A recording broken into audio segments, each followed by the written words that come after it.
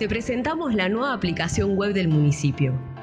Ingresa a appmunicipiosantarosa.gov.ar.